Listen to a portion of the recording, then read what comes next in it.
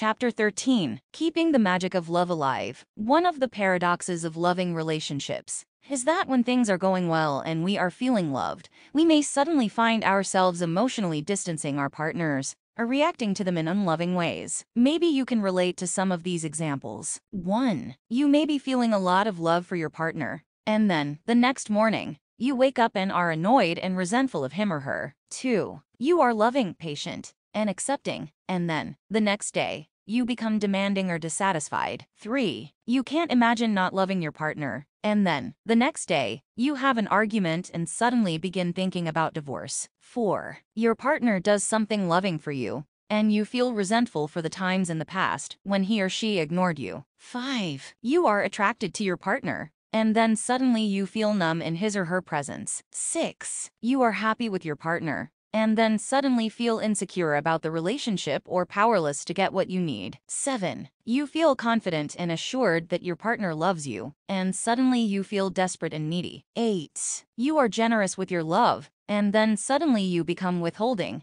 judgmental, critical, angry, or controlling. 9. You are attracted to your partner, and then when he or she makes a commitment, you lose your attraction or you find others more attractive. 10. You want to have sex with your partner, but when he or she wants it, you don't want it. 11. You feel good about yourself and your life, and then, suddenly, you begin feeling unworthy, abandoned, and inadequate. 12. You have a wonderful day and look forward to seeing your partner, but when you see him or her, something that your partner says makes you feel disappointed, depressed, repelled, tired, or emotionally distant. Maybe you have noticed your partner going through some of these changes as well. Take a moment to reread the above list thinking about how your partner may suddenly lose his or her ability to give you the love you deserve. Probably you have experienced his or her sudden shifts at times. It is very common for two people who are madly in love one day to hate each other or fight the very next day. These sudden shifts are confusing, yet they are common. If we don't understand why they happen we may think we are going crazy,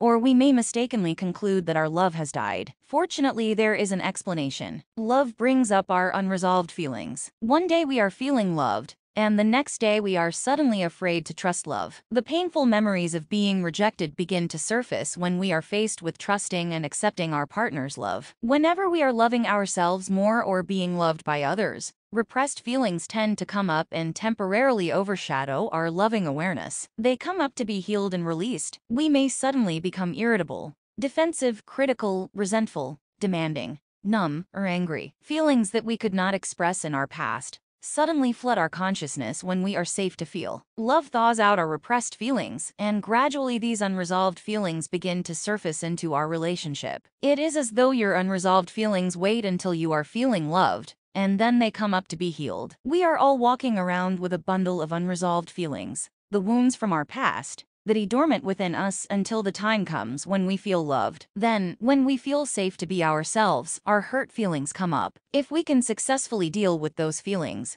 then we feel much better and enliven more of our creative, loving potential. If, however, we get into a fight and blame our partner instead of healing our past, we just get upset and then suppress the feelings again. How repressed feelings come up. The problem is that repressed feelings don't come up saying, Hi, I am your unresolved feelings from the past. If your feelings of abandonment or rejection from childhood start coming up, then you will feel you are being abandoned or rejected by your partner. The pain of the past is projected onto the present. Things that normally would not be a big deal hurt a lot. For years we have suppressed our painful feelings. Then one day we fall in love, and love makes us feel safe enough to open up and become aware of our feelings. Love opens us up, and we start to feel our pain. Why couples may fight during good rhymes. Our past feelings suddenly come up not just when we fall in love, but at other times when we are feeling really good, happy or loving. At these positive times, couples may unexplainably fight when it seems as though they should be happy. For example, couples may fight when they move into a new home,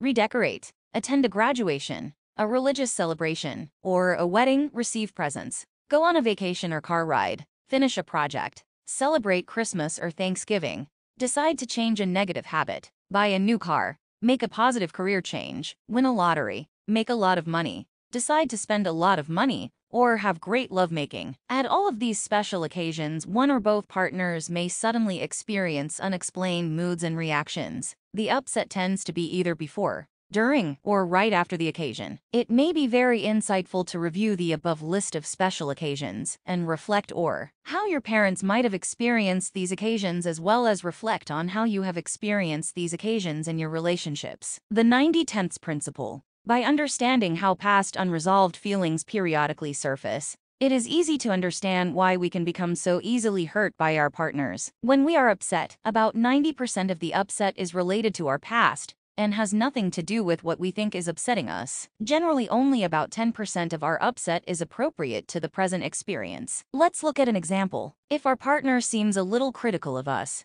it may hurt our feelings a little, but because we are adults, we are capable of understanding that they don't mean to be critical or maybe we see that they had a bad day. This understanding prevents their criticism from being too hurtful. We don't take it personally, but on another day their criticism is very painful. On this other day, our wounded feelings from the past are on their way up. As a result, we are more vulnerable to our partner's criticism. It hurts a lot because as a child we were criticized severely. Our partner's criticism hurts more because it triggers our past hurt as well. As a child, we were not able to understand that we were innocent and that our parents' negativity was their problem. In childhood, we take all criticism, rejection, and blame personally. When these unresolved feelings from childhood are coming up, we easily interpret our partner's comments as criticism, rejection, and blame. Having adult discussions at these times is hard. Everything is misunderstood. When our partner seems critical, 10% of our reaction relates to their effect on us and 90% relates to our past. Imagine someone poking your arm a little or gently bumping into you. It doesn't hurt a lot. Now imagine you have an open wound or sore, and someone starts poking at it or bumps into you. It hurts much more. In the same way, if unresolved feelings are coming up,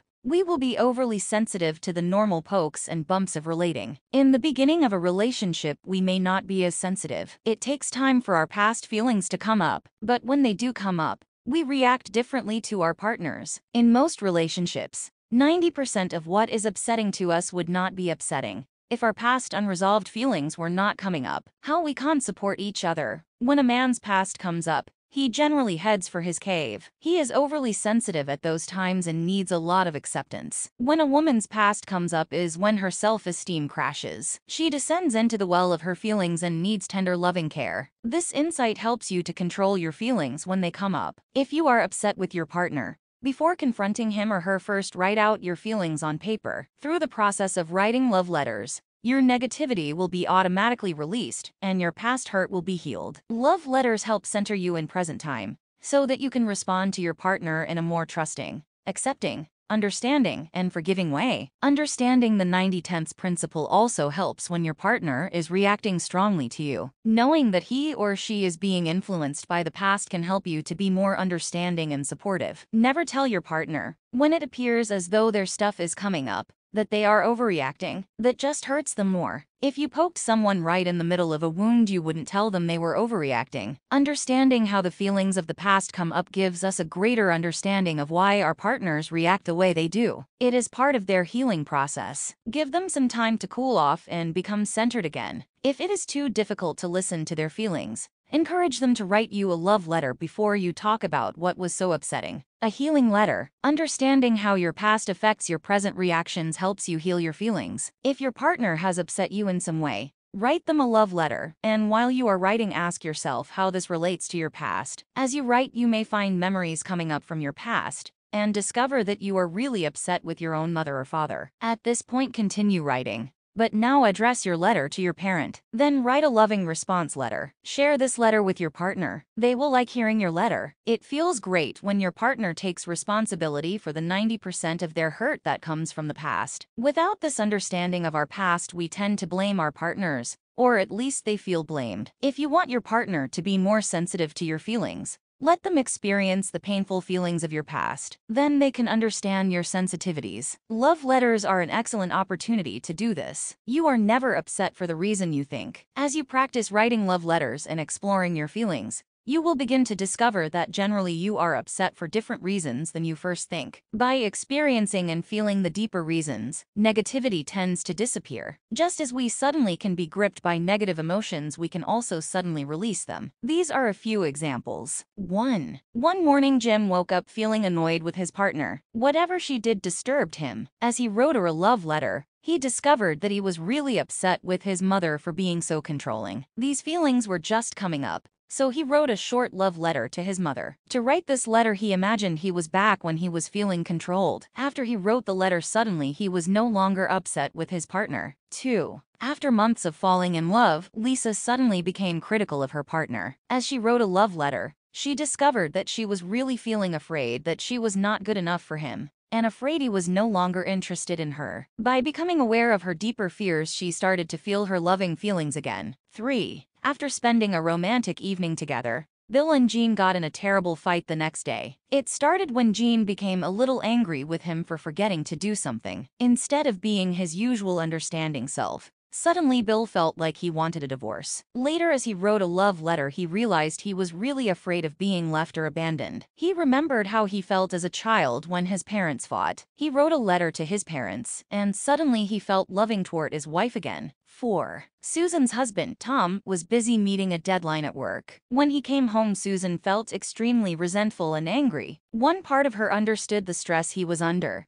but emotionally she was still angry. While writing him a love letter, she discovered that she was angry with her father for leaving her alone with her abusive mother. As a child, she had felt powerless and abandoned, and these feelings were again coming up to be healed. She wrote a love letter to her father, and suddenly she was no longer angry with Tom. 5. Rachel was attracted to Phil until he said he loved her and wanted to make a commitment. The next day, her mood suddenly changed. She began to have a lot of doubts, and her passion disappeared. As she wrote him a love letter, she discovered that she was angry with her father for being so passive and hurting her mother. After she wrote a love letter to her father and released her negative feelings, she suddenly felt attracted again to Phil. As you begin practicing love letters, you may not always experience past memories and feelings, but as you open up and go deeper into your feelings, it will become clearer that when you are really upset it is about something in your past as well. The delayed reaction response. Just as love may bring up our past unresolved feelings, so does getting what you want. I remember when I first learned about this. Many years ago I had wanted sex from my partner, but she wasn't in the mood. In my mind, I accepted that. The next day, I hinted around, and she still was not interested. This pattern continued every day. By the end of two weeks, I was beginning to feel resentful. But at that time in my life, I didn't know how to communicate feelings. Instead of talking about my feelings and my frustration, I just kept pretending as if everything were okay. I was stuffing my negative feelings and trying to be loving. For two weeks my resentment continued to build. I did everything I knew to please her and make her happy, while inside I was resenting her rejection of me. At the end of two weeks I went out and bought her a pretty nightgown. I brought it home, and that evening I gave it to her. She opened the box and was happily surprised. I asked her to try it on. She said she wasn't in the mood. At this point I gave up. I just forgot about sex. I buried myself in work and gave up my desire for sex. In my mind I made it okay by suppressing my feelings of resentment. About two weeks later, however, when I came home from work, she had prepared a romantic meal, and was wearing the nightgown I had bought her two weeks before. The lights were low and soft music was on in the background. You can imagine my reaction. All of a sudden, I felt a surge of resentment. Inside, I felt, now you suffer for four weeks. All of the resentment that I had suppressed for the last four weeks suddenly was coming up. After talking about these feelings, I realized that her willingness to give me what I wanted released my old resentments. When couples suddenly feel their resentment, I began to see this pattern in many other situations. In my counseling practice, I also observed this phenomenon. When one partner was finally willing to make a change for the better, the other would become suddenly indifferent and unappreciative. As soon as Bill was willing to give Mary what she had been asking for, she would have a resentful reaction like, well, it is too late, or so what. Repeatedly, I have counseled couples who have been married for over 20 years. Their children have grown up and left home. Suddenly, the woman wants a divorce. The man wakes up and realizes that he wants to change and get help. As he starts to make changes and give her the love she has been wanting for 20 years, she reacts with cold resentment. It is as though she wants him to suffer for 20 years just as she did. Fortunately, that is not the case. As they continue to share feelings and he hears and understands how she has been neglected,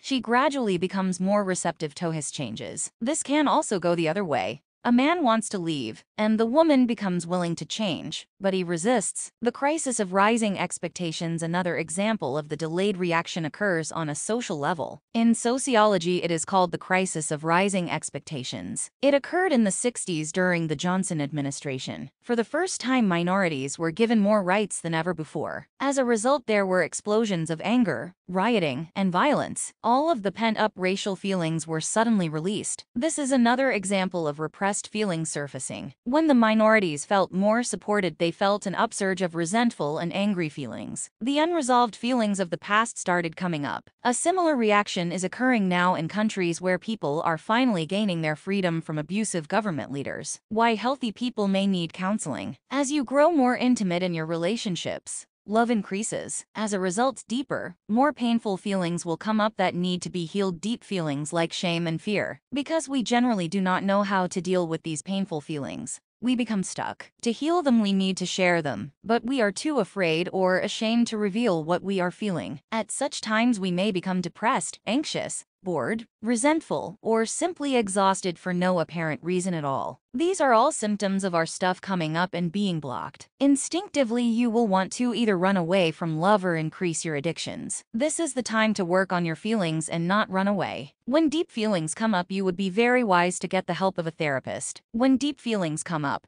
we project our feelings onto our partner. If we did not feel safe to express our feelings to our parents or a past partner, all of a sudden we cannot get in touch with our feelings in the presence of our present partner. At this point, no matter how supportive your partner is, when you are with your partner, you will not feel safe. Feelings will be blocked. It is a paradox. Because you feel safe with your partner, your deepest fears have a chance to surface. When they surface, you become afraid and are unable to share what you feel. Your fear may even make you numb. When this happens, the feelings that are coming up get stuck. This is when having a counselor or therapist is tremendously helpful. When you are with someone you are not projecting your fears on, you can process the feelings that are coming up. But if you are only with your partner, you may feel numb. This is why people with even very loving relationships may inevitably need the help of a therapist. Sharing in support groups also has this liberating effect. Being with others whom we don't know intimately but who are supportive creates an opening for our wounded feelings to be shared. When our unresolved feelings are being projected on our intimate partner,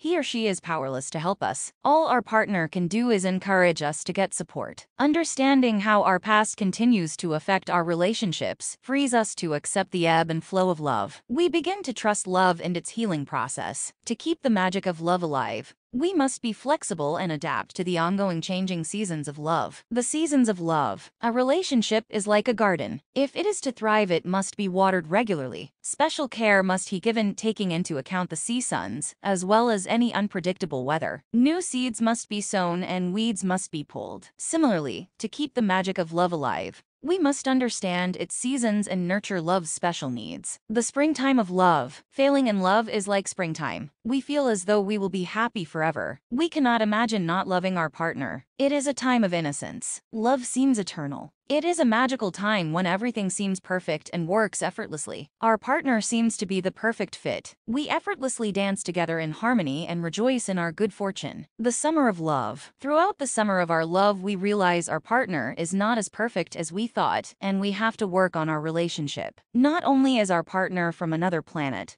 but he or she is also a human who makes mistakes and is flawed in certain ways. Frustration and disappointment arise. Weeds need to be uprooted, and plants need extra watering under the hot sun. It is no longer easy to give love and get the love we need. We discover that we are not always happy, and we do not always feel loving. It is not our picture of love. Many couples at this point become disillusioned. They do not want to work on a relationship. They unrealistically expect it to be spring all the time. They blame their partners and give up. They do not realize that love is not always easy. Sometimes it requires hard work under a hot sun. In the summer season of love, we need to nurture our partner's needs as well as ask for and get the love we need. It doesn't happen automatically. The autumn of love is a result of tending the garden during the summer. We get to harvest the results of our hard work. Fall has come. It is a golden time rich and fulfilling. We experience a more mature love that accepts and understands our partner's imperfections as well as our own. It is a time of thanksgiving and sharing. Having worked hard during summer, we can relax and enjoy the love we have created. The winter of love. Then the weather changes again, and winter comes. During the cold, barren months of winter, all of nature pulls back within itself. It is a time of rest, reflection, and renewal. This is a time in relationships when we experience our own unresolved pain or our shadow self. It is when our lid comes off and our painful feelings emerge. It is a time of solitary growth when we need to look more to ourselves than to our partners for love and fulfillment. It is a time of healing. This is the time when men hibernate in their caves and women sink to the bottom of their wells. After loving and healing ourselves through the dark winter of love, then spring inevitably returns. Once again, we are blessed with the feelings of hope,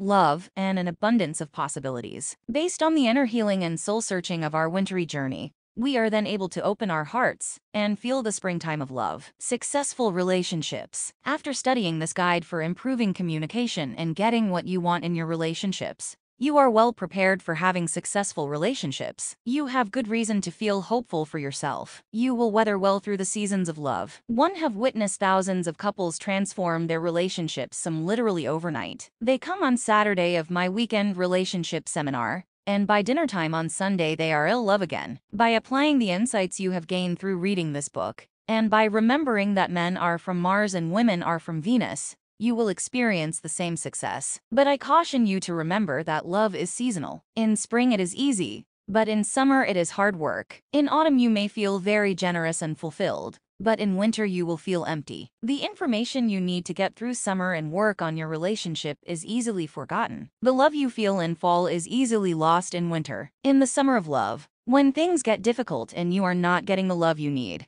Quite suddenly you may forget everything you have learned in this book. In an instant it is all gone. You may begin to blame your partner and forget how to nurture their needs. When the emptiness of winter sets in, you may feel hopeless. You may blame yourself and forget how to love and nurture yourself. You may doubt yourself and your partner. You may become cynical and feel like giving up. This is all a part of the cycle. It is always darkest before the dawn. To be successful in our relationships, we must accept and understand the different seasons of love. Sometimes love flows easily and automatically, at other times it requires effort. Sometimes our hearts are full and at other times we are empty. We must not expect our partners to always be loving or even to remember how to be loving. We must also give ourselves this gift of understanding and not expect to remember everything we have learned about being loving. The process of learning requires not only hearing and applying, but also forgetting, and then remembering again. Throughout this book you have learned things that your parents could not teach you. They did not know, but now that you know, Please be realistic. Give yourself permission to keep making mistakes. Many of the new insights you have gained will be forgotten for a time. Education theory states that to learn something new, we need to hear it 200 times. We cannot expect ourselves, or our partners, to remember all of the new insights in this book. We must be patient and appreciative of their every little step. It takes time to work with these ideas and integrate them into your life. Not only do we need to hear it 200 times, but we also need to unlearn what we have learned in the past. We are not innocent children learning how to have successful relationships. We have been programmed by our parents, by the culture we have grown up in, and by our own painful past experiences. Integrating this new wisdom of having loving relationships is a new challenge. You are a pioneer. You are traveling in new territory. Expect to be lost sometimes. Expect your partner to be lost. Use this guide as a map to lead you through uncharted lands again and again. Next time you are frustrated with the opposite sex, Remember men are from Mars and women are from Venus. Even if you don't remember anything else from this book, Remembering that we are supposed to be different will help you to be more loving. By gradually releasing your judgments and blame and persistently asking for what you want, you can create the loving relationships you want, need, and deserve. You have a lot to look forward to. May you continue to grow in love and light. Thank you for letting me make a difference in your life.